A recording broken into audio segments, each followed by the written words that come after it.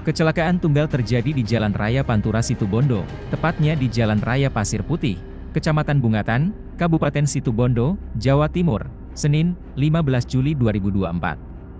Mobil Toyota Pajero Nopol P1285WO yang dikemudikan Diga Miftahul Fardan, warga Putri Citra Pratama, Kuta Utara, Badung, Bali, menabrak pohon.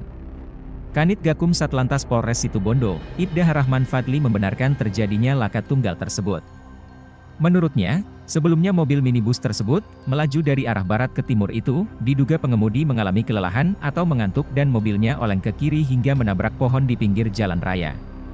Tidak ada korban jiwa dalam kecelakaan itu, pengemudi serta penumpang mengalami luka, namun kendaraan minibus mengalami rusak parah di bagian pintu, bumper dan bodi depannya ringsek.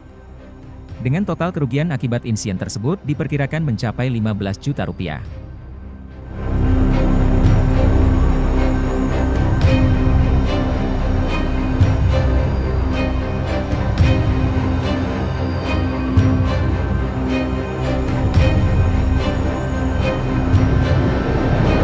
Download Tribun X sekarang. Menghadirkan lokal menjadi Indonesia.